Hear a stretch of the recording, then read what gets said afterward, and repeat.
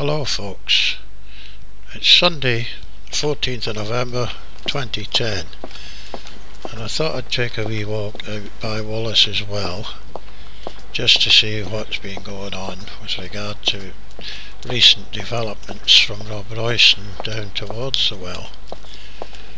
I read recently in a paper somewhere that some council spokesman said that they were fed up with cars knocking holes in the wall down by the well, that they weren't going to bother repairing it anymore.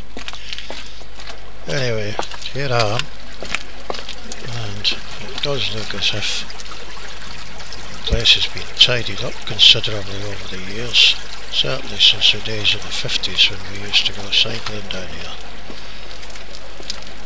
And I just caught a glimpse there, yeah, there's the hole in the wall.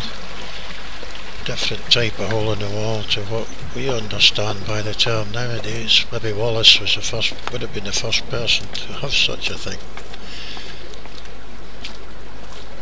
Looking at the well itself, uh, I don't remember that plinth with the inscription on it from our time. It looks fairly new. Certainly looks a lot cleaner than it did back in the days when we came down here. Although I still wouldn't fancy having a drink at it.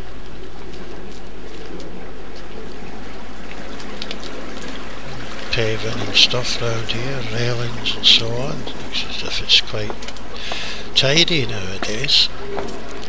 Another chunk of wall missing there, but I'm not going to dwell on that. when I've finished with this wee bit of filming I'll take a run up the road towards Robroyston to the monument and just see how far down the housing development has spread. Because a couple of years ago when I went there the monument was almost in somebody's garden.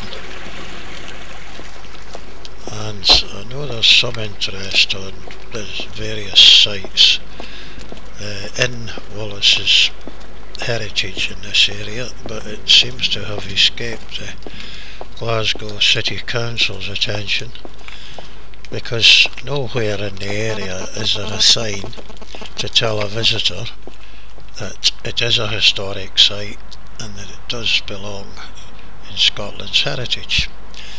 There we are, there's a monument and you can see the proximity of those houses Oh yeah, they've built quite a lot more because this used to be quite a densely wooded little area years ago. I suppose looking at that, the rate they're going at, by the time I visit here again, Wallace's Well could be a feature in somebody's garden too. Well, hope you enjoyed this wee sojourn.